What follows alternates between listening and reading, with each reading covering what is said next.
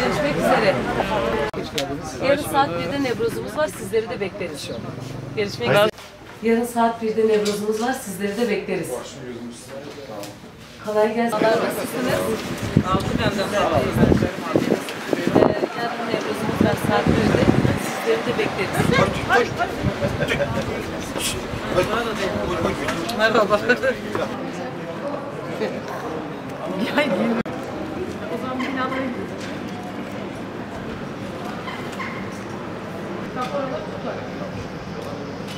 Çek çek.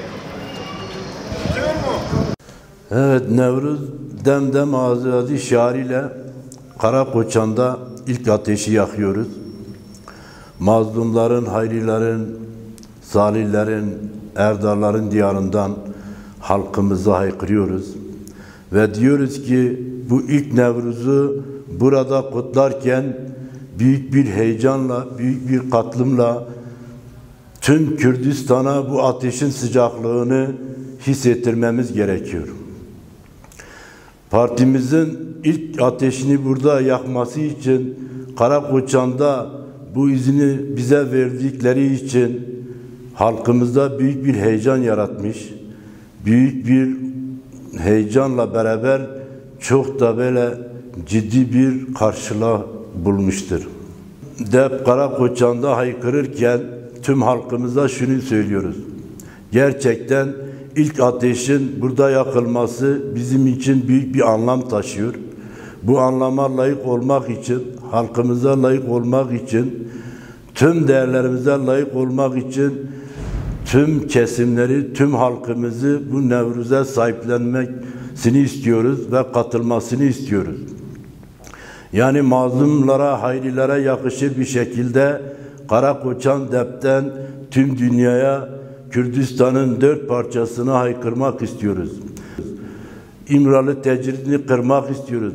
Umarım ki bu heyecan, bu at, Nevruz ateşin sıcaklığı tüm Kürdistan'a, Orta Doğu'ya yayılarak, gürlenerek daha gür bir sesle dünyaya sesimizi duyuracağız. Çevre ilere işte Dersim'e, Elazığ'a, Çevlik, Bingöl'e çağrımız var. Tüm halkımızı burada Nevruz anına buraya katılmaya davet ediyoruz. Yani mazlumlara, hayrilere layık olmak için burada ciddi bir ses getirmeliyiz.